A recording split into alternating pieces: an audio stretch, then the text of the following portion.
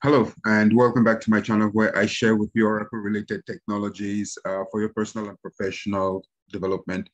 And if you're stopping by the channel for the first time, uh, please go ahead and subscribe, uh, smash that like button on this video.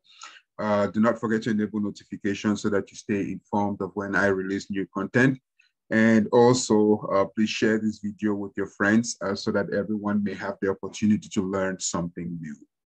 So um, as Oracle database administrators, um, as Oracle developers, um, we do certainly have a lot of tools available for us to run our DML statements. And among those tools, um, I am a huge fan of SQL Developer. Um, a lot of other DBAs can use Enterprise Manager, of course, to run and execute some SQL statements. Uh, but most commonly, the vast majority of uh, DBAs uh, use uh, SQL Plus command line uh, utility in order to execute um, DML, DDL, whatever SQL statements that they are running within their environment. But what we're trying to show you in this video um, is a cool way uh, to edit SQL statements. So as DBAs, I'm sure there's been some frustrations um, when you type DML statements, when you type SQL statements within your SQL Plus, and there is a typo, there is a mistake, and there is a need for you to re retype the whole statement. And from a time perspective, that is not uh, what we really, really like. So there is a command in SQL Plus called uh, the define underscore editor. I don't know if you're familiar with this, if you've used this before, uh, but we can define an editor within a SQL plus command session, command line session, right? Um, I am a huge fan of uh, running Oracle on Linux, so I use the VI editor a lot. So uh, I would define in this demo um, my define editor to be uh, the VI editor, and I would show you through some some some some examples. So why don't we go ahead um, and then we get that done, right? I'm going to open up a, a session here. Uh, this is a new uh, session on my uh, Linux box, and let's see uh, which of my databases is up. So let's grep for Pmon, and I have a database called Noka. Noka is up and running. Let's set my environment to Noka.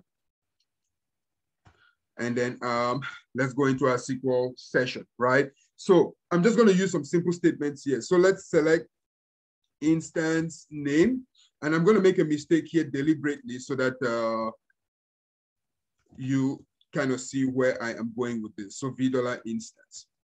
So it has to be instance underscore name. I do I do this, you know, deliberately here so that it shows us how uncomfortable it is for us to uh, make mistakes in SQL, you know, plus, and then have to retype all of that stuff. So um, because I know where my error is, I'm going to rerun this statement, of course, retyping, which is what I didn't want us to do. Instance underscore name um, status from v dollar instance.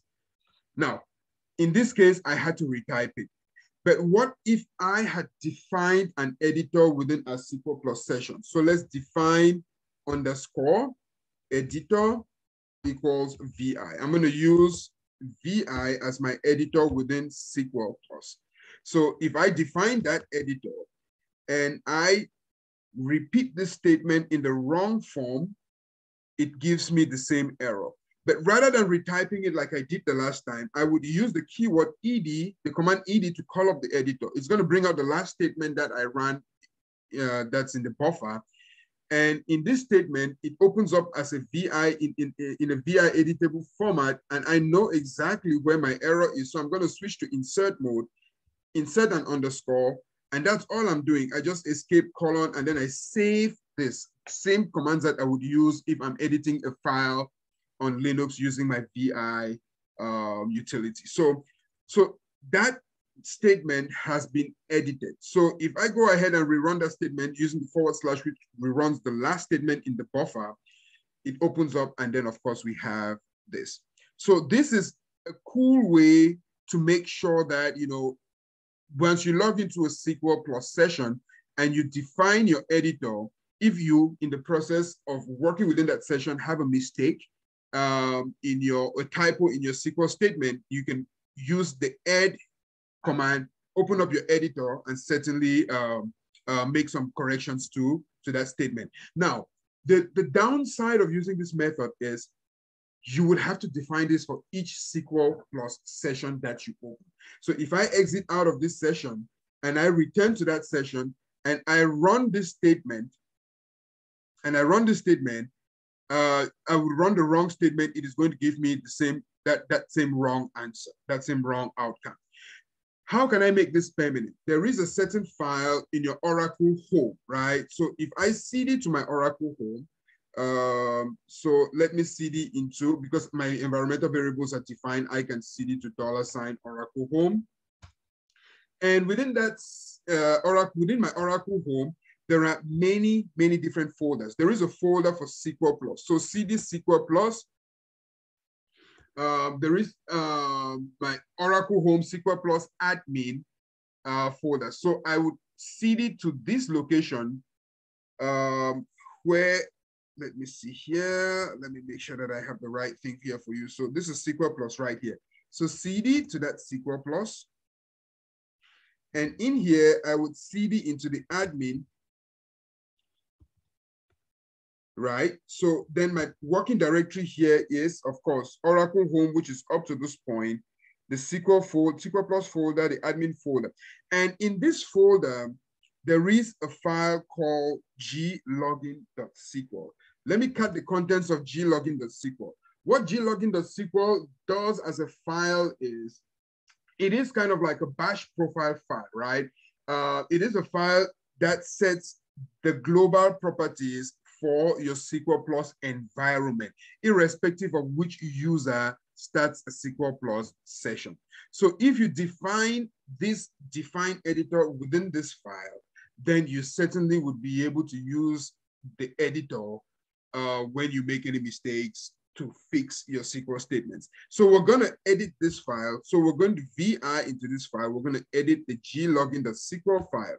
So if we edit that file, I would switch to insert mode, enter, and then I would only add here define underscore editor equals VI. That's all I'm adding to this file. So what that file does, again, like I said, it's kind of a, a, a Linux bash underscore profile file where you set, you know, preferences on how you want things to happen. So let's go ahead and cut the contents of that file to make sure that we have our define editor written to it. So if I log into any SQL Plus session right now, and let's repeat the same things we did the last time. Let's do the one that certainly does bring result in an error. We're gonna have that error. So rather than using the define editor, I just go ahead and use ed. ed would pull up that editor in itself because that editor has already been defined in that glogin SQL uh, global, you know, uh, login site profile. So let's switch into insert mode, instance underscore name. And then I save this. And of course I rerun that. It tells me here that that is what the modification is. So here is a cool way, uh, rather than really getting frustrated all the time, please use this video, practice on your define editor uh, command, and then you, you, you try to see, let me know if it helped you. Um, let me know if you found this useful. Um, if you did, please like this video, subscribe to the channel so that that kind of helps us bring more content uh, like this to you. Thank you for watching and I certainly would see you in the next video.